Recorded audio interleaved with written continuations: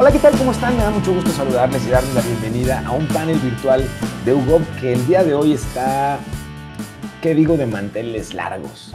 La verdad es que el honor de poder conversar con quienes hoy nos hacen el favor de acompañarnos es un lujo y el tema que vamos a tratar el día de hoy, las competencias digitales en una época como la que estamos viviendo, se hace cada día más relevante. Por ello agradecemos muchísimo en todo lo que vale la oportunidad de conversar eh, con Concepción Campos Acuña. Ella es secretaria de Administración Local de la categoría superior, codirectora de la red Localis y ganadora además del Premio Innovadora Destacada en 2016 por CNIS, por el CENIS, Congreso Nacional de Innovación y Servicios Públicos de España. Bienvenida Concepción y qué gusto tenerte con nosotros y la oportunidad de conversar contigo. Y le doy también la bienvenida a Alejandro Barros, un, no obstante su evidente y nuestra evidente juventud, un viejo conocido en muchos sentidos de las tecnologías de la información dentro del gobierno. Alejandro Barros ha sido presidente ejecutivo de Enable o Enable, académico asociado del Centro de Sistemas Públicos de la Universidad de Chile y fue secretario ejecutivo de la Estrategia Digital de Chile. Ha sido además consultor de organismos internacionales como el Banco Mundial, el Banco Interamericano de Desarrollo, así como de diversos gobiernos, México incluido. Hemos tenido el gusto en su momento de trabajar proyectos con él relacionados con estrategia digital aquí en México. Les agradezco mucho y le agradezco, por supuesto, a mi cómplice, socio, amigo y compañero en estos menesteres digitales y director del laboratorio de UGOP, Carlos Castañeda, quien además le doy también la bienvenida. ¿Cómo están? Bienvenidos y bienvenida. Muchas gracias por la oportunidad de conversar juntos. ¿De qué hablamos cuando hablamos de competencias digitales? Concepción, ¿nos ayudas a ir entendiendo, por favor? Bueno, muchas gracias por la invitación, Emilio, Carlos soy a Hugo, encantada además de compartir este panel con Alejandro, todo un honor.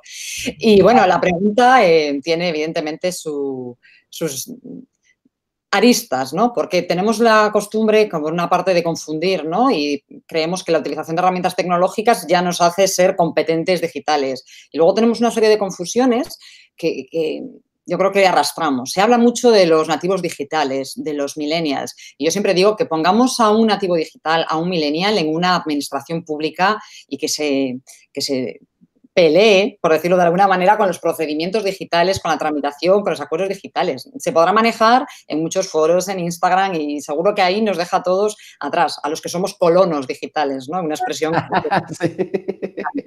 Yo soy colono digital, no nativa, pero me manejo relativamente bien en mis competencias. Entonces, para intentar ser precisa e intentar no, pasarme a la confusión, voy a utilizar la definición que tenemos en Europa, en el marco europeo de competencias digitales para la ciudadanía, el DICCOMP, ¿no? que es además eh, comprensivo para todos, que dice que la competencia digital entraña el uso seguro y crítico de las tecnologías, de la sociedad, de la información. Me hace creo que hay que tener el hincapié en el seguro y crítico. Son dos palabras claves, ¿no? Cuando utilizamos las tecnologías y no somos muy conscientes de ellos, de los riesgos de la ciberseguridad y demás asociados.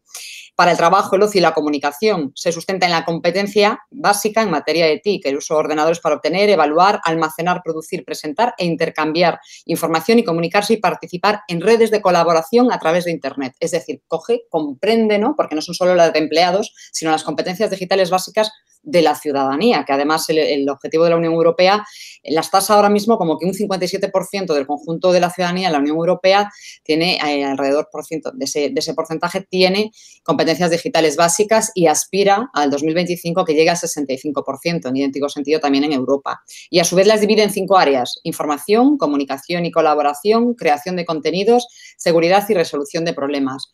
Por eso, Emilio, creo que es muy importante ese apunte que has hecho tú de que ahora todos hablamos, ¿no? Como si fuéramos grandes expertos en competencias digitales, pero en pocas ocasiones intentamos aterrizar el concepto y más asociado a un puesto de trabajo de un servidor público, ¿no? Que tiene una relevancia, yo creo que, muy importante, ¿no? Entonces, estas cinco áreas de competencias profesionales que establece el DICCOM creo que se pueden tomar como de referencia. También el Centro Latinoamericano de Administración para el Desarrollo, el CLAD, cuenta con una guía referencial iberoamericana de competencias laborales, que creo que también se puede utilizar es decir, que mm, dos claves. Por una parte, utilizar las competencias profesionales como lo que son y para eso referenciarnos a competencias como tal. Y segundo, no confundir millennial con competente digital. Totalmente de acuerdo. Alejandro, ¿tú qué agregarías en este sentido? Yo lo que agregaría es, eh, y estando totalmente de acuerdo, bueno, primero que nada, muchas gracias por la invitación. Eh, Eh, a, Pisu nos conocemos desde hace muchos años, digamos, y a Carlos con, eh, hemos compartido en varios paneles y muchas gracias por la invitación. Y a Concepción también nos ha tocado participar en, en, en, reuniones, estábamos recordando una en, República Dominicana el año pasado. Bueno, eh, eh, yo está, estoy muy de acuerdo con lo que plantea Concepción y me gustaría agregar un, un, elemento que es que habitualmente hay una confusión entre un, un gran consumidor de tecnologías ¿ah? y, y, habilitación de competencias tecnológicas. Sí. Ok, sí, sí, sí, sí, sí. sí. Si, si, si yo sé usar muchos dispositivos, muchos gadgets y muchas de esas eh, redes sociales, eh, estoy habilitado, digamos, en, en, este, en este tipo de competencia. Y, y, y, yo creo que el desafío es hacer una bajada a eh, cuando, cuando uno mira, por ejemplo, eh, ámbitos como el, el, mundo público, incluso el privado, ¿ah? el, el, solo hecho de usar muchos gadgets, muchas redes sociales eh, y muchas apps, ¿ah? no necesariamente es que voy a, a dotar a esa organización de un nuevo marco de referencia, de trabajo, de evolución. ¿ah? Y, y, y, un ejemplo probablemente muy claro de esto es la sobresimplificación que muchas veces se hace por los mismos millennials que mencionaba Concepción, de, ah, digitalizar el Estado es como, ah, ¿por qué no transformamos el Estado en Facebook, digamos? ¿ah? Eh, es como si fuera ah, eh, eh, prender y apagar, digamos. ¿ah? Activo una app, activo la app, digamos. Entonces, yo creo que hay, hay, hay dos conversaciones que se dan eh, y, que eh, no se produce el necesario puente eh, entre eh, realmente habilitar competencias que sean relevantes para, por ejemplo, modernizar el Estado y el quehacer del Estado en sus interacciones con los ciudadanos ¿ah? y usar muchas apps. ¿ah? Probablemente el mejor ejemplo de esto en el sector público es cuando llegaron las redes sociales al sector público. Sí, ok, sí uno ve muchas administraciones públicas y servicios públicos que tienen su, uh, su cuenta de Twitter, su cuenta de Facebook, ¿ah? eh, y uno dice, ¿y para qué la estarán usando? O sea, porque finalmente sí. termina siendo un, un parlante y no un, un eh, espacio de interacción con las personas. Entonces ahí es cuando el ministro anuncia cuándo va a cortar la cinta en no sé dónde, o, o el video en que lo muestra eh, entregando algún tipo de subsidio. Pero cuando yo quiero presentar un reclamo, hacer una consulta por esa misma cuenta de Twitter, me dicen, no, no, no, vaya a nuestras oficinas que se encuentran ubicadas en tal parte. Sí, hay un silencio sepulcral de repente ahí, claro, claro, claro. Entonces yo creo que aquí hay una, hay, hay, hay una confusión y, y, yo la comparto plenamente en lo que planteaba Concepción. ¿ah? Eh, no es lo mismo ser un usuario eh, eh, muy potente de, eh, de dispositivos y aplicaciones que tener las competencias digitales necesarias, en, en, por ejemplo, en un espacio como en el mundo público. ¿Cómo, ¿Cómo sienten ustedes que el impacto de esta ausencia de habilidades digitales en funcionarios públicos ha impactado a una digitalización acelerada, obligada y forzosa, que incluso a quienes amamos la tecnología nos tomó por sorpresa y nos puso un bofetón y nos dijo, querías tecnología todo el tiempo, ¿verdad? A ver qué tal funciona. Y vimos un, inicialmente vimos un cortocircuito muy relevante. ¿Cómo sienten ustedes, hacia dónde tendría que voltear hoy los distintos gobiernos en términos justo de este desarrollo de habilidades digitales? Bueno, yo, yo escribí hace poco un artículo en prensa y comenzaba con una pregunta. ¿Cómo ah. habríamos vivido esta situación en un mundo analógico?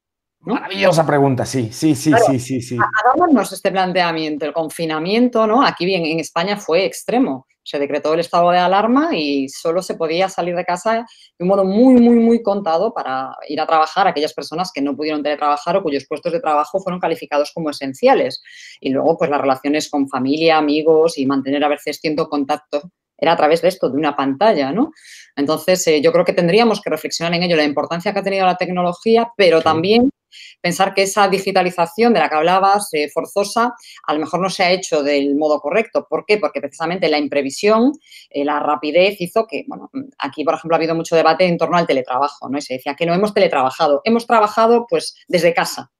¿Cómo sí. hemos podido? ¿no? Pues porque Muy algunos... Distinto, claro claro, no tenían equipos, no tenían habilidades, no tenían competencias, no sabían conectarse a un VPN, eh, bueno, tutoriales para usar el Zoom o el Cisco para una videoreunión, eh, todos hemos hecho alguna, llamadas por teléfono con una videollamada, con una llamada manual, con todo, ¿no? Entonces, eh, yo creo que ahora es el momento de reflexionar. En España se ha abordado un proceso de, modificación de la normativa básica sobre el empleo público, tanto para dotar a los empleados públicos de competencias digitales, ¿no? Poniendo por fin, al fin, en el centro este tema, porque yo siempre digo, hablamos de la transformación digital de las administraciones públicas. Con empleados públicos analógicos no va a haber transformación digital, ¿no? Difícilmente. De hecho, tengo una entrada en mi blog en la que hablo precisamente de, las cosas que se escuchan a veces a los resistentes, ¿no? A, los que todavía viven en ese mundo analógico. Por tanto, yo creo que tenemos que extraer las lecciones aprendidas de esta situación, ¿no? Cómo, cómo reaccionamos, qué capacidad de reacción hemos tenido, qué ha funcionado bien, qué no ha funcionado bien, y ahora planteárnoslo ya como eh, una eh, situación sólida, consolidada y de futuro. Eh, se ha dicho aquí, por lo menos, que el COVID ha acelerado en seis años la digitalización de las empresas, del, sector privado. Desde luego, del sector público también. No probablemente seis años, pero sí, desde luego, pero si no nos lo planteamos como una política pública de transformación digital, vuelvo a decir, aquí en España se acaba de aprobar la España Digital 2025 con un horizonte de cinco años y una serie de objetivos medibles, pues temas como la conectividad, por ejemplo, ¿no? que parece algo irrelevante, pero es que no lo es. No podemos tener administraciones públicas digitales si no tenemos conexión de red, si no tenemos equipamientos y, por supuesto, las competencias, ¿no? Vuelvo a decir, no habrá transformación digital, podemos tener conectividad, los mejores equipos, todos los gadgets, ¿no? Como decía Alejandro, que si el, el equipo no va a funcionar solo y si alguien no conoce la aplicación, no la va a poder utilizar. Por lo tanto, creo que ahora hay que pensar reflexionar y empezar a adoptar medidas una detrás de otra. Si tengo que hacer inversión, inversión, por supuesto la formación, la capacitación y también mirando siempre a la ciudadanía. Me ha encantado el apunte de Alejandro, pero yo siempre digo que las administraciones tenemos que hacer escucha activa en las redes sociales, y no podemos estar solo para hacernos propaganda, ¿no? O propaganda política, que todavía es peor, sino que las tenemos que utilizar como un canal más de relación con la ciudadanía. Pero, mm, por desgracia, yo creo que no se está haciendo todavía correctamente este proceso de reflexión. Es mi opinión, así. ¿eh? La dejo ahí apuntada, a la espera de escuchar a Alejandro. Quería, quería eh, reflexionar sobre lo que, lo que tú planteabas, que, en que no, nosotros nos vimos enfrentados, si uno ve el mundo pre-pandemia y post-pandemia, digamos, en el sentido de este proceso que tú decías de digitalización forzado, eh, que que nos, eh, nos puso dos elementos que no estaban en, en, el paisaje, por decirlo de alguna manera.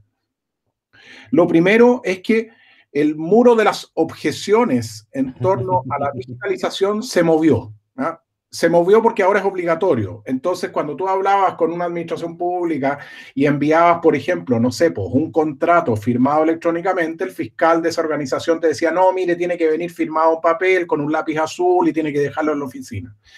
Ese mismo contrato hoy día, eh, y lo digo porque fue una experiencia personal que tuve, ese mismo contrato el día de hoy tú lo mandas firmado igual que lo mandaste el año pasado con firma electrónica avanzada y pasa y nadie se le ocurre siquiera decir que no es válido. Entonces el año pasado no era válido, este año sí es válido. Y no cambió nada del marco normativo, regulatorio ni nada. Lo que cambió fue el contexto. Y lo segundo y probablemente esto es, lo más desafiante para las organizaciones públicas, es que esto es como cambiar la rueda del auto andando. ¿ah? Eh, es decir, no es que vamos a hacer un plan de transformación digital para los próximos tres años y vamos a hacer una hoja de ruta, entonces vamos a ver y conseguir los recursos y vamos a armar el proyecto. No, ahora esto hay que hacerlo ya. Y eso ha planteado tres grandes problemas en las administraciones públicas y que lo hemos visto en distintos países de la región. No, eh, Concepción nos podrá dar más antecedentes de Europa, pero yo lo he visto en varios países de la región. Es que esta digitalización forzada generó problemas en la escalabilidad, porque, porque no estábamos acostumbrados a que hubiera miles de personas. Aquí se cayó el sitio principal del Estado de Chile, gov.cl, una vez que se anunció yo escribí algo sobre esto en, mi blog, recibí muchas, muchas críticas al respecto. El día que se anunciaron eh, la cuarentena, se cayó el gov.cl completo. ¿ah? Eh, Y eso, y eso es una demostración de que en el fondo la gente se volcó a la Internet para saber qué hacer, dónde ir, y así hubo muchos servicios que se cayeron, porque no estaban preparados. Todo su dimensionamiento era para tener eh, eh, un crecimiento ¿ah? eh, con ciertas curvas como tendenciales que venían de antes y no está, ese fue el primer problema. Y lo hemos visto, por ejemplo, en muchos de estos bonos que ofrecen los estados, que levantan el sitio y el sitio a los minutos se cae porque todo el mundo quiere ver si me toca o no me toca el bono. Lo segundo, y, Concepción lo mencionaba, es el tema de seguridad. Si uno mira las métricas de Google, por ejemplo, eh, eh, respecto de sitios maliciosos, estos han crecido en el orden de un 350% durante el periodo. Eh, entonces, eh, ¿y por qué? eso. Eso porque hoy día todo se hace por la web. No solo en nuestros países, en muchos países del mundo. Entonces, en el fondo, el tema de seguridad es un tema muy significativo. Y por último, y con esto termino, que, que es el tema de la usabilidad que, es un gran debe de, nuestros, eh, de nuestras administraciones públicas. ¿A qué me refiero con esto? Tenemos, eh, las administraciones públicas tenían muchas de sus interacciones eh, por el canal presencial y el canal web era como un canal como medio alternativo, así, oye, ya sí, lo vamos a poner en el sitio web. ¿ah? Pero con, con, con eh, eh, la, la, compensación que en el fondo, si en el sitio web no funciona bien o no entiendo cómo se hace, tengo la posibilidad de ir a la oficina a la, eh, y hacerlo presencialmente. ¿ah? Pero hoy día no tengo esa posibilidad. Entonces, si el trámite no es un trámite que sea fácil de entender, en que uno sabe dónde está, ¿ah? con lógica Amazon, yo cuando estoy comprando en Amazon sé cuánto me queda para terminar mi proceso de compra. Eh, sé cuáles son los pasos que vienen. Y en, nuestros países estamos llenos de trámites en que no se entiende el lenguaje escrito para, eh, para personas que tienen que saberse el compendio legal de todo el país, eh, en que no se sabe cuál es el trámite, que, la, etapa siguiente, si tengo que pagar o no tengo que pagar, cuáles son los papeles que tengo que tener antes. Todo eso pone una presión para que hoy día tengamos trámites que sean entendibles, usables, porque el único canal que funciona es ese. Eh, la innovación y la digitalización de las instituciones generalmente se le había encargado a las áreas de tecnología, mm. eh, con, lo que implica en la cuestión, eh, ¿cómo, ¿cómo hacemos que la administración se vuelva digital por defecto? Que no sea un área digitalizadora, Sí, buen punto, sí. Sí, sí, sí. Bueno, muy buena pregunta. Yo llevo ya, en España tenemos un marco normativo desde el año 2015 que establecía la hoja de ruta para que el procedimiento y las relaciones de las administraciones públicas fuesen íntegramente electrónicas. Y a partir de ahí, a mi modo de ver, la administración electrónica se convirtió en un área absolutamente transversal al conjunto de la organización. Pero siempre hay alguien, ¿no? que yo lo, ponía precisamente en el blog, que digo, esto es cosa de los informáticos, ¿no? Entonces, ah, esto a mí me gusta mucho porque es la excusa de, no, no, lo digital no, esto es cosa de los informáticos acabados. Y además con el riesgo, que, digo, que muchos no advertimos, que es el papel que va a jugar ahí la inteligencia artificial y la automatización de los procesos, ¿no? Que eso yo creo que es un tema muy interesante para abordar. Eh, yo a partir de este momento, eh, pues aquí hay, por ejemplo, un marco normativo que son eh, las normas técnicas de interoperabilidad. Yo soy jurista de formación y cuando le hablo a alguna compañera o algún compañero le digo, no, esto lo tienes que ver en eh, la NTI, en la norma técnica de interoperabilidad, y dice, no, pero es que eso es cosa de los informáticos. digo, no, no, es que esto es cosa de todos. Ahora mismo no hay otra. Y alguien el otro día me comentaba, no, entonces tramitamos un expediente para los procedimientos electrónicos. Y yo le decía, no, es que no hay, el procedimiento solo es electrónico. Otra cosa es que el ciudadano tenga derecho, si quiere, a venir, a traer sus papeles, porque ahí también hay algo que no debemos de olvidarnos, y es la brecha digital. Eso, o sea, la podemos tener por conectividad, por dificultades, pues porque se caigan, evidentemente por la demanda, ¿no? Por la elevada demanda. En, España se ha puesto en marcha el ingreso mínimo vital y, bueno, el volumen de tramitación electrónica ha sido terrible, ¿no? Entonces, eh, no podemos dejar de lado y que la digitalización se lleve por delante a un segmento de la población. Tenemos que trabajar para que no haya silos de exclusión eh, digital por parte de la sociedad, ¿no? Eh, porque los hay ya por eso, pues por temas de conectividad y demás, pero los hay porque no tienen esa capacitación y ahí entra precisamente esa posición proactiva de la administración. Yo siempre digo que hemos sido típicamente eh, reactivos, por una razón que además engancha y encaja perfectamente en lo que comentaba Alejandro. No cuidamos la experiencia de usuario. Yo sé que no es común oír hablar de la experiencia de usuario en la administración, pero yo creo que más que nadie, ¿no? Si el sector privado lo hace, nosotros tendríamos que hacerlo mucho más. Y la relación digital es el máximo exponente. Es terriblemente complejo. Yo misma como ciudadana, cuando he tenido que realizar algún trámite digital, pues he sudado. O sea, pero de decir, bueno, y esto a ver dónde lo encuentro. Y porque al final te vas manejando y digo, no me extraña que una persona, ya no hablo de alguien mayor, ¿no? sino de una persona mínimamente con cierta formación, le cueste. Por lo tanto, esto tenemos que cambiarlo. Para eso, ¿qué es importante también? Pues que estén inmersos en ese proceso de digitalización el conjunto de la organización, como bien dices, Carlos, porque eh, aquí nada, no, es por decir nada de los informáticos, ¿no? Pero bueno, al final la percepción, ¿no? De la tecnología y de la es distinta para unos que para otros y las dificultades. Yo creo que en este sentido incluso deberíamos de trabajarnos a veces, pues coger con determinados eh, grupos, ¿no? De ciudadanía, de distintos segmentos sociales, edad, intentar con ellos ver cómo hacer más amable, más intuitivo, más utilizando, ¿no? Esa administración. Por lo tanto, yo creo que lo primero que tenemos que hacer es comprender que ahora mismo lo electrónico es el canal.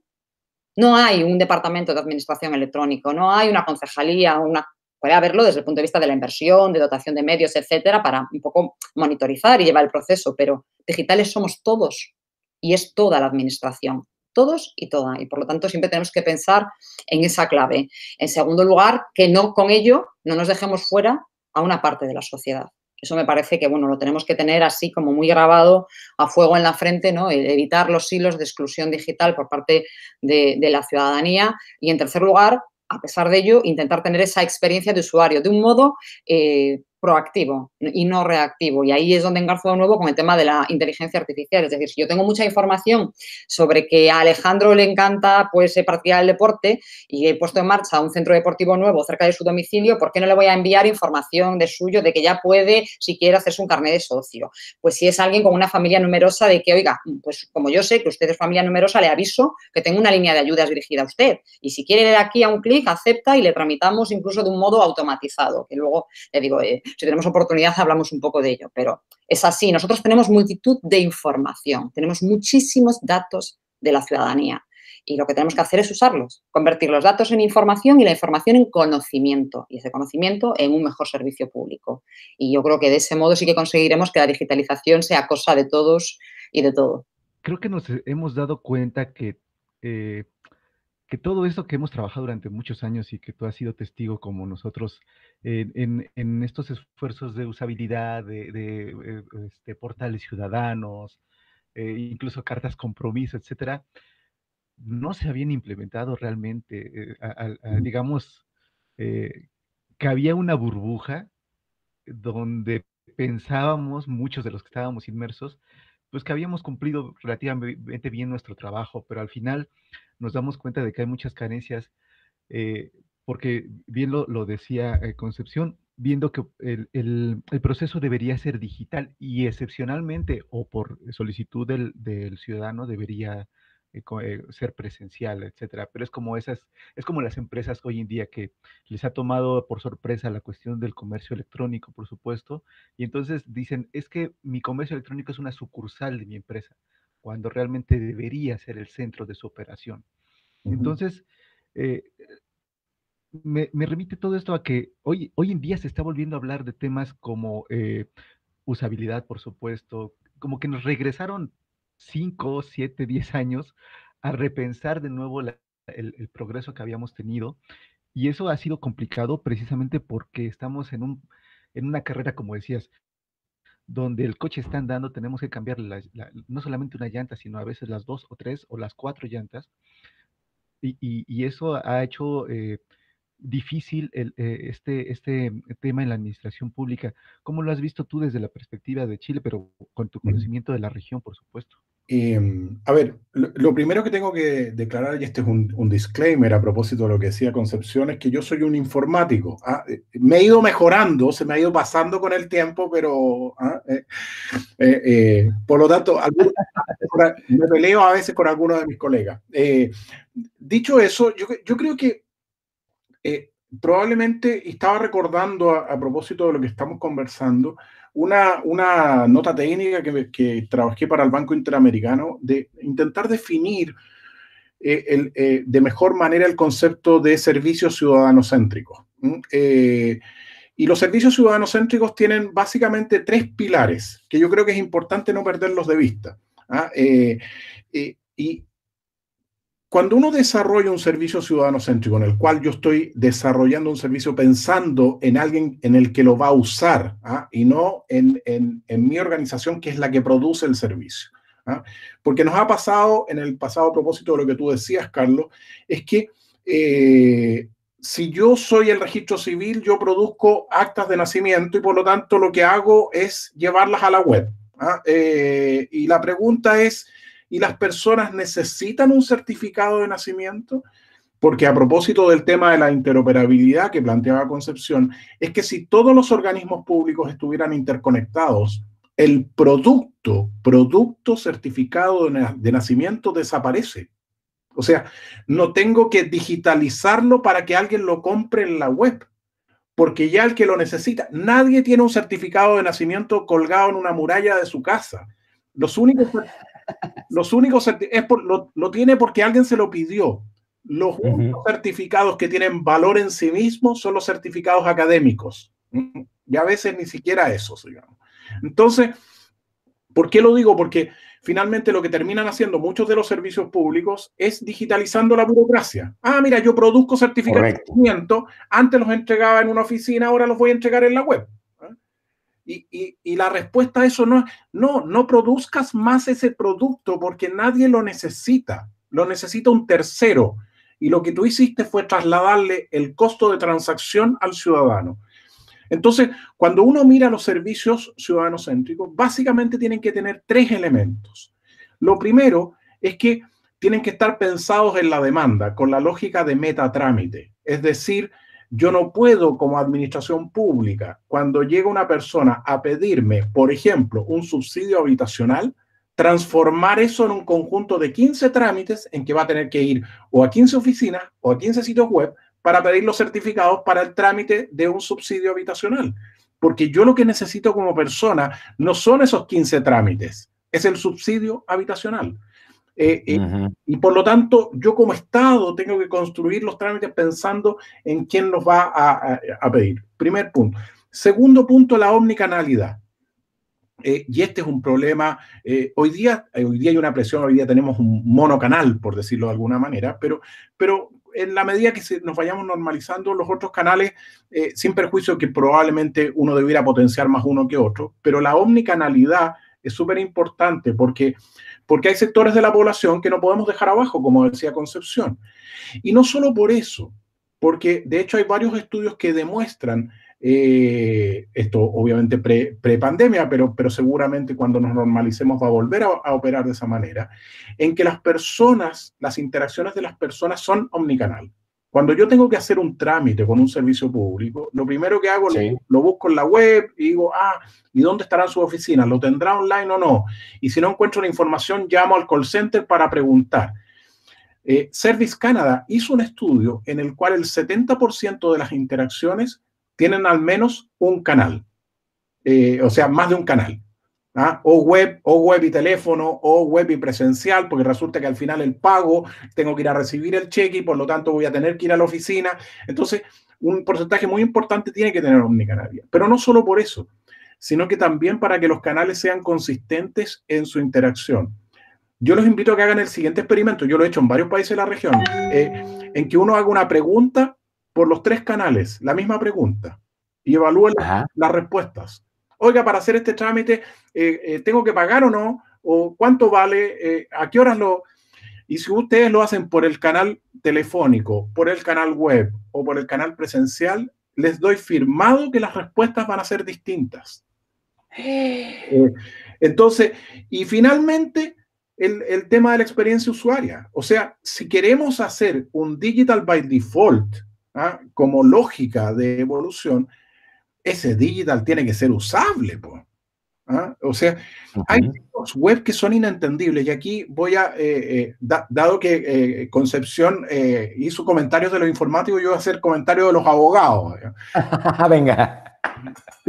cuando uno mira, por ejemplo, ciertos sitios web, eh, la otra vez te, estuve mirando a propósito de, de los eh, beneficios que se están entregando para la pandemia acá en Chile. Eh, y quería saber si a una persona común y corriente le toca o no le toca. ¿ah?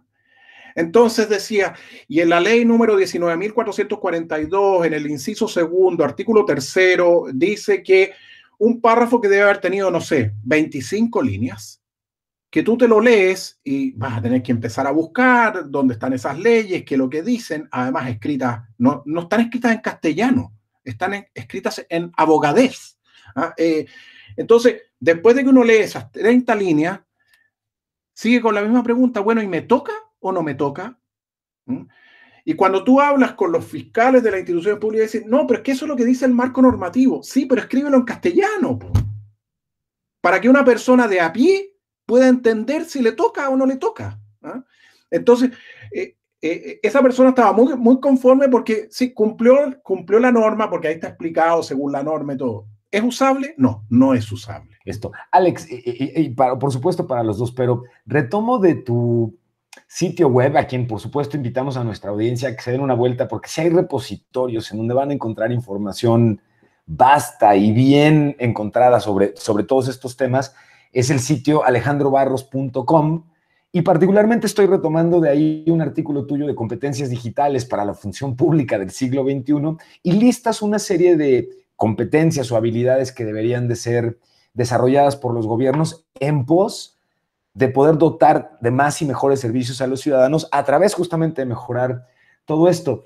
Desde tu perspectiva, ¿cuál considerarías, Alex, que es el reto que en tu país particularmente ha sido el que más trabajo ha costado? Y por otro lado, ¿cuál es un reto que has notado que hemos compartido múltiples países, no importando el nivel de avance en agendas digitales? Y la misma pregunta, por supuesto, para Concepción, por favor. Yo, yo me atrevería a decir eh, tres, eh, porque es, una lista larga, esto es un, estudio realizado hace algunos años atrás, digamos, que identificó 10 competencias eh, digitales, en el cual obviamente no, no, no, las prioriza, pero, pero, pero en base a tu pregunta, Emilio, a mí hay tres que me, que me, me probablemente por, por, por mi background y mi experiencia, digamos, que creo que son las más importantes. Eh, sin perjuicio de que todas debieran ser abordadas. Eh, lo primero es que las tecnologías de información eh, tienen que estar en el proceso de toma de decisiones. O sea, cuando se hace la modernización del Estado, ¿ah? cuando se lidera la modernización del Estado, una componente muy importante y la que va a poder apalancar esto es las tecnologías de información. sin eh, sin confundirse, en el sentido que transformación digital del Estado, la palabra más importante es la palabra transformación ¿ah? eh, y no la palabra digital. ¿ah? Eh, pero, pero lo, que, lo que hace, y más aún en el contexto que vivimos hoy día, lo que apalanca y hace que ese proceso de transformación sea más robusto es, es el soporte digital.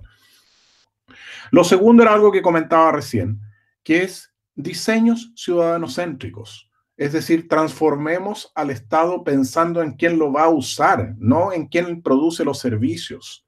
¿ah? Eh, estamos llenos de sitios web que tú los tratas de mirar en un teléfono y no se ven. Hoy día, más el, el tráfico mayoritario en la web es tráfico móvil. Entonces, si tu sitio web no se ve en un teléfono, eh, significa que no entendiste nada.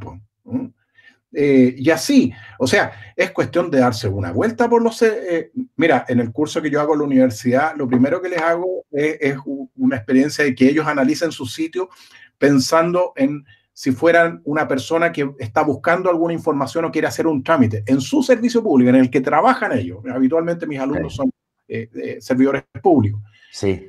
Y después de darse esa vuelta, porque nunca nadie se la dio, porque eh, en el fondo es como, eh, ah, no, esto, lo que decía Concepción, esto es de informática.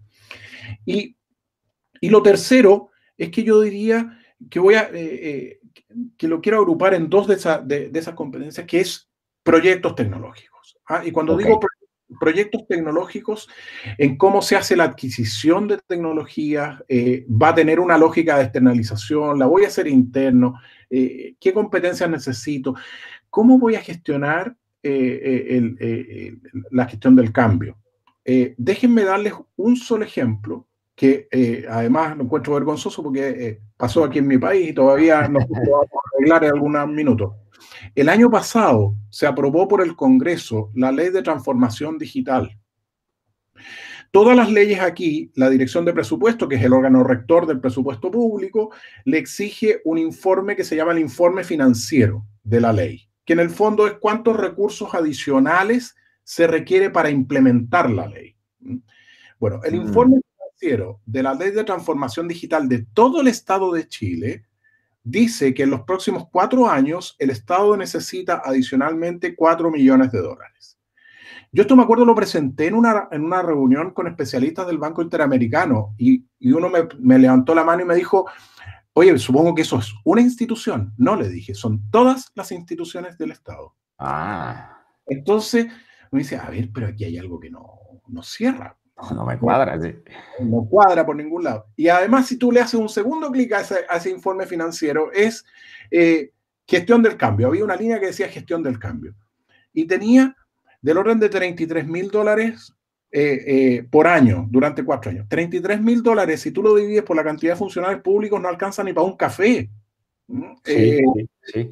Entonces vas a hacer la, la, la gestión del cambio comprándole un café a cada uno de los funcionarios públicos y eso sería todo tu, ah, tu gestión del cambio en un proyecto como este. Entonces, cuando digo proyecto tecnológico o proyecto transformacional, para, para no dejarlo solo en lo tecnológico, eh, eh, ¿cómo voy a subir a las autoridades? ¿Cuáles son eh, las iniciativas de gestión del cambio? ¿Cómo voy a hacer el proceso de digitalización? ¿Lo voy a hacer interno, externo? ¿Voy a partir de la ventanilla? ¿Voy a partir de los sistemas de que hay en la trastienda? O sea, aquí hay un, hay un desafío súper importante. ¿Cómo voy a priorizar, por ejemplo?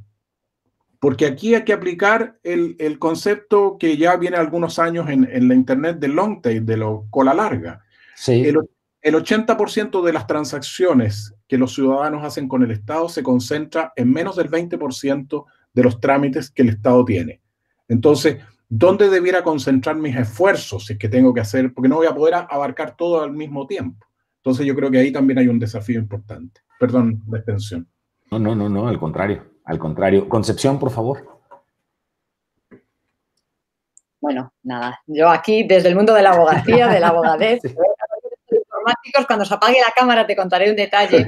Yo como de jurista y, bueno, y, encajo poco en ese perfil de poner el artículo, la ley y demás, y llevo muchos años eh, peleando para que, pues, por ejemplo, nuestro portal de transparencia sea intuitivo y la gente pique y no tenga que picar 15 veces, pero bueno, eh, en esa lucha creo que deberíamos de estar todos, ¿no? Y yo hago mucho algo que, le pido también a mis colaboradores que hagan, que es que si tienen un ratito libre, que entren en nuestra web, en nuestra sede. Y yo cuántas veces digo, eh, ayer por la tarde he estado viendo y me he dado cuenta que, pues esto que comentabas, que en el móvil la imagen no se ve nítida que eh, esto pues está mal. Pues ver la nuestra y ver la de los demás, ¿no? Yo en eso soy muy de, observar lo que se hace alrededor, porque también en la administración pública a veces nos miramos mucho el ombligo y hay otros que lo hacen muy bien. ¿Por qué no verlo y replicarlo, no? Eh, el copia y pega está mal según qué, pero si, te sirve para aprender algo que otros ya están haciendo bien, ¿por qué no abordarlo?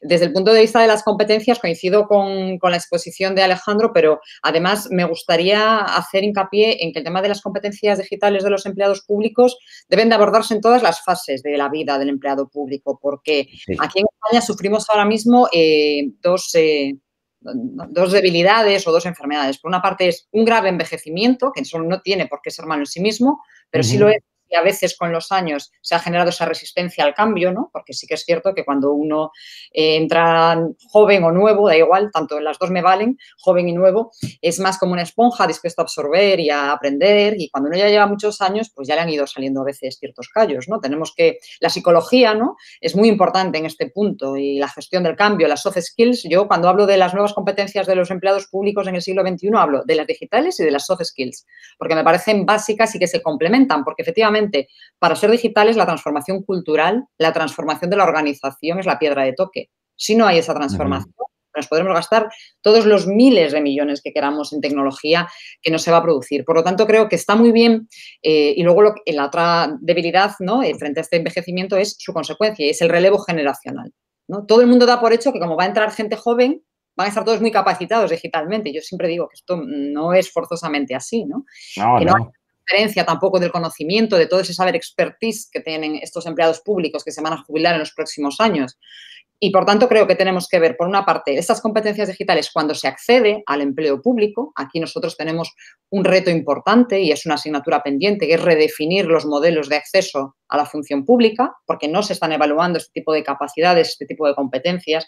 Y no hablo de que haya tres temas en una oposición, no, hablo de que se vea, ¿no? Efectivamente, si se dispone, si se valora adecuadamente la relevancia que tiene lo digital, ¿no? Y ese digital by default, ese ciudadano en el centro, precisamente, ¿no? Esa experiencia de usuario, porque ahí la administración juega con que tiene clientes cautivos. Mm. Si yo quiero el certificado, se lo pido a quién? A la administración. Y o lo haces como lo digo yo, o lo haces como lo digo. Yo que soy resistente y me peleo y digo, no, porque aquí tenemos algo que es de, de, en términos de interoperabilidad, que es la plataforma de intermediación de datos.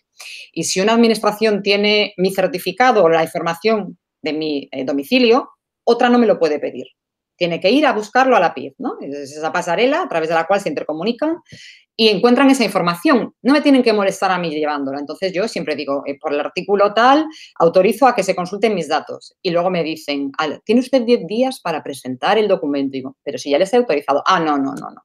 Entonces la amenaza es, o lo presenta usted o se le ha acabado el trámite. Y entonces yo, a mi pesar, lo presento protestando, recurriendo y demás, a eso me refiero con que tenemos clientes cautivos. Somos un monopolio en el ejercicio de la acción pública y con eso nos permitimos lo que no se permite en otras compañías, lo que no se permite el sector privado, evidentemente, que quiere fidelizar. Nosotros no fidelizamos a nuestra clientela porque consideramos que no lo necesitamos, porque yo creo que sí lo necesitamos y más en estos difíciles tiempos, relegitimar las instituciones públicas siendo útiles, siendo proactivas, demostrándole a la ciudadanía que estamos a su lado en una situación como esta es muy importante. Por tanto, por una parte, en el acceso, pero también durante nuestra vida. Cuando yo accedí, como dice una, una compañera que tengo yo, a mí nadie me examinó de ordenador. Así que a mí nadie me puede decir que uso un ordenador. claro. Bueno, a mí de ordenador tampoco me examinó nadie. De leyes, las infinitas del mundo pero de ordenador, pero ahora es mi herramienta. ¿no? Yo, yo, firmaba en papel, yo de forma parte de mi puesto de trabajo firmar muchísima documentación. Y firmaba en papel durante muchos años y ahora eh, firmo en digital. Y eso además es, es, una bendición, porque cuando son el mismo tipo de documentos, seleccionas y firmas. Cuando he tenido que diligenciar tomos y tomos de documentos, pues han sido semanas firmando y ahora es clic. Y con un sello automatizado de órgano, ya ni lo hago, o sea, clic directamente, ¿no? Ahí lo tengo. Por lo tanto, también durante nuestra vida tenemos que ir actualizando todas nuestras competencias, pero ahora sin duda una competencia clave y una competencia crucial es precisamente la digital y tenemos que aprovechar la oportunidad. Yo decía también en otro artículo en prensa que a la fuerza ahorcan. La crisis del COVID nos ha puesto frente al espejo y como bien decía Carlos, podíamos pensar que éramos muy guapos, muy altos y muy listos y nos ha demostrado que, que no éramos ni tan altos ni tan guapos, que no éramos tan digitales, que no éramos, que no estábamos tan modernos, que no teníamos unas herramientas tan estupendas. O sea, nos ha puesto frente al espejo. Aprovechemos claro. la oportunidad, porque si no conocemos la realidad no la vamos a poder mejorar. Pues aprovechemos esta oportunidad para hacerlo. Y esto tiene un coste. Sí o sí. Y ahí eh, voy con Alejandro, que yo lo he visto peor. ¿no? Te gano, te subo la apuesta. Yo he visto en, en la memoria de impacto económico eh, presupuestario, no tiene coste. Claro. 4 millones no tiene, la, la, implantación de esta ley no tiene coste. Entonces, claro, esto también es una realidad con la que la agenda pública y la agenda política, las dos, la agenda pública y la agenda política, tienen que situarlo en una primera prioridad y la inversión es necesario, ¿no? Eso es un coste de transacción, si haces A no haces B. Eh, durante mucho tiempo gastarse, ¿no? Porque era gastarse, no lo veían como una inversión en ordenadores, era como tirar el dinero, ¿no? Yo siempre he dicho que era una inversión y poco a poco se ha ido consiguiendo, ¿no? Pero eh, resulta difícil a veces cuando es el decisor político, en vez de que haga pues, una carretera que puede inaugurar o un centro cultural que puede inaugurar o que puede enseñar, decirle, no, estás con una nube, estás con un proyecto de automatización de datos, con un proyecto de inteligencia artificial. Pero bueno, yo confío en que, como digo, sacar, ¿no? De hacer de la, de la necesidad virtud y que el COVID haya puesto suficientemente, haya creado el suficiente sentido de urgencia para que, pues eso, eh, lo digital se haya percibido por todos como algo neurálgico para continuar los servicios públicos y para la función pública. Quería, quería una cosa que dijo Concepción que recordé eh, y que el Estado no solo, no solo es servicio monopólico, sino que además tiene la mala costumbre en muchos casos de no cumplir la propia ley. En Chile nosotros tenemos una, una ley de procedimiento administrativo que no me recuerdo exactamente la, de cuándo es, pero 2004, comienzos de los años 2000, en que decía que el Estado no puede pedirle al ciudadano información o datos que ya residen en poder del Estado. El Estado lleva 15 años sin cumplir la ley. 15. Y no pasa nada. Siempre ha sido una de mis preguntas a todos los, panelistas, a todos los expertos con los que me he eh, tenido la fortuna de, platicar. Es el Estado, ¿por qué tiene que transformarse y por qué tiene que innovar si al final es monopólico y al final eh, no hay quien pueda darte un servicio como, por ejemplo, un, banco, una entidad financiera, como dices, Concepción, pues obviamente va a tener que eh, modernizarse porque si no, muy fácilmente tú como usuario vas y te cambias de banco porque se te da más, más facilidades o en cualquier otro ámbito, excepto, excepto en los servicios eh, que proporciona el Estado. Y, siempre me, la, cuestión de la transformación del Estado se ha vuelto una cuestión, eh, no quisiera poner estos términos, pero sí de héroes que, están eh, machacando, tratando de hacer la, esa transformación por convicción personal, pero no por necesidad. Este, esta circunstancia de confinamiento, de pandemia, etcétera, ha sido yo creo que uno de los eh, únicos eh, factores reales que han obligado al Estado, a, las administraciones públicas, a transformarse. Pues un poco ya para, para empezar a, a concluir, porque el tiempo siempre nos, nos come y es, es malvado. ¿Cuál, ¿Cuál sería el, eh, digamos, un, unos primeros pasos, un, kit de, de, primeros auxilios, de decir, hagan esto como en, su capacitación, en, sus, en su eh, eh, generación de habilidades digitales, porque si no, lo vamos a pasar muy mal, al menos todo el año o dos años que nos quedan enfrente de una circunstancia quizás excepcional, quizás no, eh, pero, que, pero que nos ha puesto eh, contra las cuerdas como, como administraciones públicas de tener que dar respuesta, seguir operando, seguir siendo funcionales. Eh, entonces, ¿cuáles son los primeros pasos que debemos tomar a la vista de todo lo que hemos platicado y decir, yo entiendo que los recursos son escasos, el, tiempo, las personas, el dinero, pero eh, a la vista de estas limitaciones, de todas maneras tenemos que, hacer, eh, tener funcionarios digitalmente capaces. Entonces, ¿cuáles serían, eh, si quieres, iniciamos, Concepción, estos puntos claves que pudiéramos tomar? importante y, difícil. En relación a, lo que decías de que ¿Por qué tenemos que transformarnos? Yo es que creo firmemente en el Estado y en el servicio público y creo que si nuestra necesidad es la de satisfacer los intereses de los ciudadanos, pues solo lo vamos a hacer transformándonos, ¿no? Y tenemos que relegitimarnos y devolverle la confianza a la ciudadanía, que afortunadamente hoy en día es mucho más activa. Hemos pasado de ser súbditos a ser administrados y hoy ya nos han elevado a la categoría de ciudadanos. Bueno, pues aprovechemos que somos ciudadanos para esta rendición de cuentas. Sobre esa mm, pequeña hoja de ruta o trayectoria, yo la centraría en tres fases. Si yo fuera una organización pública y en estos momentos diría, bueno, hemos pasado todo el COVID y esto me ha permitido, como decía, la foto. Tengo la foto de cómo estoy bien. ¿Cuáles son los tres ejes que tengo que revisar? La tecnología, sí o sí, porque evidentemente forma parte. Tengo que saber si dispongo de la tecnología necesaria, si tengo que hacer alguna adquisición, eh, pues in company, algún desarrollo, hacerme interoperable. Tengo que saber exactamente de qué tecnología dispongo, tanto desde el punto de vista de, lo que son programas, aplicaciones y demás, como de los propios equipos y los propios eh, elementos y herramientas tecnológicas. En segundo lugar, los procesos como bien decía Alejandro, aquí pasó también cuando hicimos la transformación digital, que un terrible expediente con mil cargas innecesarias en papel se trasladaba en bloque a eh, la tramitación electrónica. Yo decía, no, vamos a ver, esto es, como decía, transformación. Vamos a aprovechar para simplificar, reducir cargas, eliminar documentos innecesarios, trámites que cargan, ¿no? Nuestro objetivo, el objetivo de la transformación digital es agregar valor, ¿no? Pues si queremos agregar valor, tenemos que aprovechar. Por lo tanto, tengo que revisar mis procesos. ¿Son tecnológicos? ¿Los puedo tramitar íntegramente desde mi casa? Cualquier ciudadano. Yo, como empleado público, puedo tramitarlo íntegramente de modo electrónico, de simplificando, depurando, facilitando. Y, en tercer lugar, las personas. Las personas son siempre el eje, el alfa y el omega de cualquier proyecto de futuro las personas internas y las personas externas. Evidentemente tengo que saber cómo están mis empleados públicos. Pues puedo hacer un primer eh, proceso de autodiagnóstico, de evaluación, una pequeña encuesta, aparte de que, bueno, pues evidentemente con los responsables de áreas y servicios, también ellos tienen y conocen ¿no? en su día a día sus equipos y nos pueden dar ese feedback para saber las competencias a las que tengo que, dotarles y, qué necesito ¿no? para que ellos puedan hacerlo, sin perjuicio de esto que decía antes del acceso y, ir trabajando hacia el futuro, ¿no? en el acceso al empleo público y las personas externas.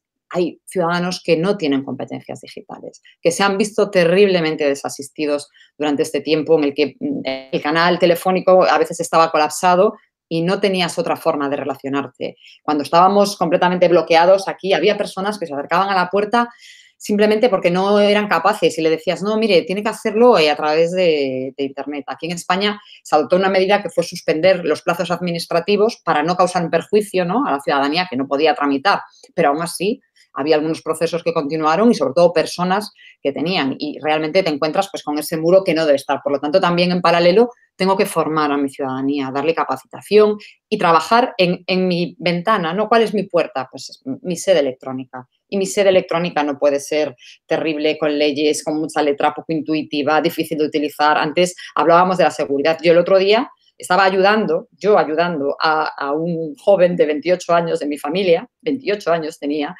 eh, a sacarse una firma electrónica y fue terrible. Tuve que deshabilitar la seguridad. Bueno, él ya nada, entrar en propiedad de seguridad, control de accesos, tal, para entrar en un organismo oficial certificador de identidad digital tuve que deshabilitar absolutamente toda la seguridad y finalmente conseguirlo. Luego ya navegadores, una época en la que para relacionarme con distintas administraciones públicas tenía que tener dos equipos, porque tenía que tener, había tanta divergencia entre unos y otros que inevitablemente no podía estar deshabilitando y habilitando perdón, eh, a cada momento. Por lo tanto, eh, yo creo que eso es básico y fundamental.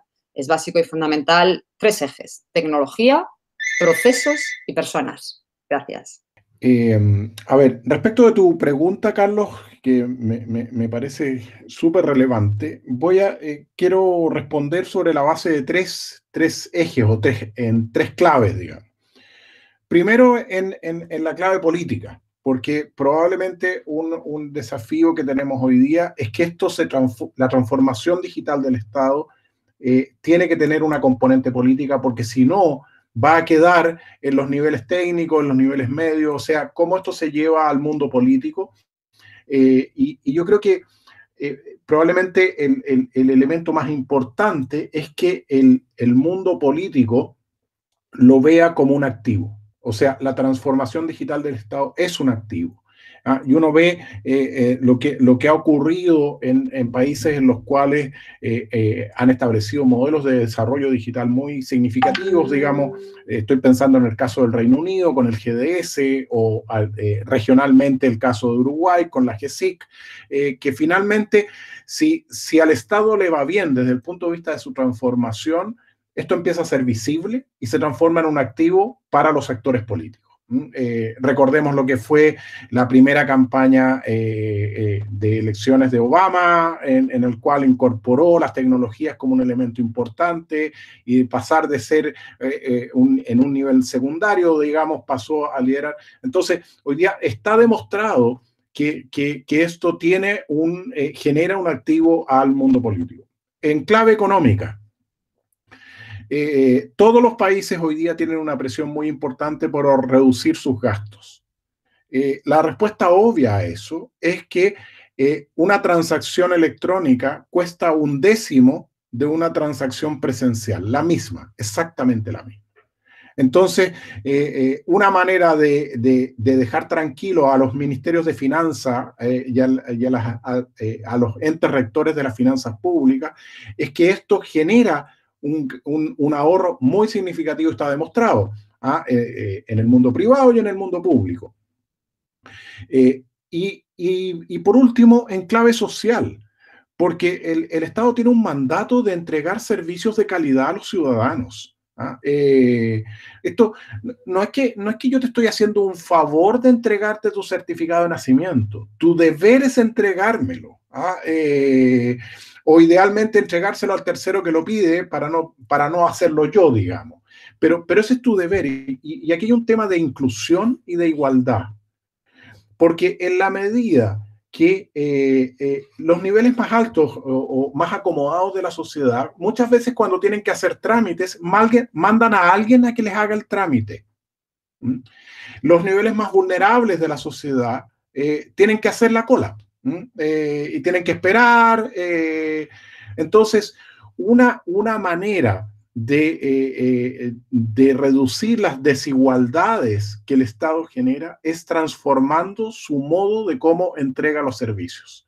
Eh, y por lo tanto, si estamos hablando del tema de la desigualdad, de la inclusión, y, eso, y eso lleva a inclusión en distintos ámbitos, no solo desde el punto de vista económico, inclusión étnica, o sea, países que han tenido mucha, mucha inmigración, ¿ah? Eh, que nos pasó, por ejemplo, aquí en Chile, tuvimos mucha inmigración de, eh, de, Haití. Eh, y, la, y la pregunta del millón que yo le hago a mis alumnos, ¿y nuestros sitios web deberán estar en creol, que es el, el idioma de Haití, o no? pero, pero cosas como esas, o, o, en, lenguas de las etnias locales, digamos. Entonces, yo, yo, creo que aquí hay un, hay un tema también de de la clave social en el sentido de que el mandato del Estado es entregar los mejores servicios que pueda a sus ciudadanos pues nuevamente les agradezco a, todos pues eh, que, nos hayan aceptado esta invitación, que nos hayan dado estos, estos minutos. A la gente que nos está viendo, muchas gracias por vernos. Les recuerdo que tenemos mucho contenido que hemos estado produciendo, que va a ser muy complicado que lo encuentren todo en un solo lugar. Entonces, dense una vuelta por todos los otros videos que tenemos, todos los otros eh, paneles, mesas, cafés que estamos haciendo. Y eh, pues bueno, si no salen, si no les podemos dar un título de máster universitario, pronto vamos a, a, ver que hay muchísima información. Entonces, muchas gracias nuevamente, Concepción. Muchas gracias, Alejandro. Por supuesto, Concepción desde, desde España, Alejandro desde Chile, nosotros aquí en México. Y pues adelante para despedirnos, Emilio. muchísimas gracias. Yo quisiera muy rápidamente, además de agradecerles y a nuestra audiencia, por supuesto, la oportunidad de conversar con ustedes, yo le quiero preguntar a Concepción y Alejandro, más que preguntar, eh, nuestra audiencia está conformada por un 90%, 95% de funcionarios que trabajan justamente cerca de tecnologías para la información. ¿Cuál sería este mensaje corto que a ustedes les gustaría que estos funcionarios que nos están acompañando en este momento se quedaran? ¿Qué les dirían en modo, ya estamos terminando, pero a ver, oye, recuerda esto porque esto va a ser importante en los siguientes días, semanas, meses?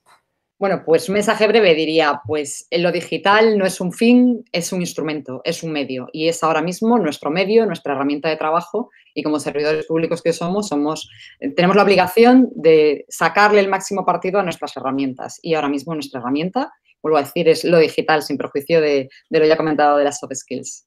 Y bueno, quiero aprovechar ya para despedirme y agradecer desde luego esta magnífica charla, la oportunidad de compartir este rato y, de conversar también con Alejandro a pesar de ser informático. es un lujo eso. Alejandro, adelante, por favor.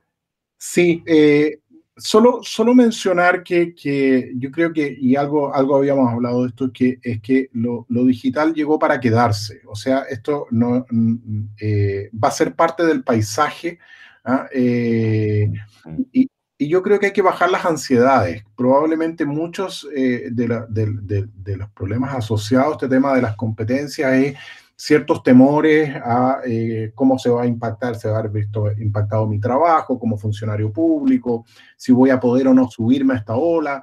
y, yo creo, creo que hay que ir buscando esas respuestas pero, pero lo que no puede ocurrir es que, eh, como hablábamos al comienzo, es que eh, pase la teoría de la, de la avestruz, digamos. O sea, no podemos pensar que esto no va a ocurrir.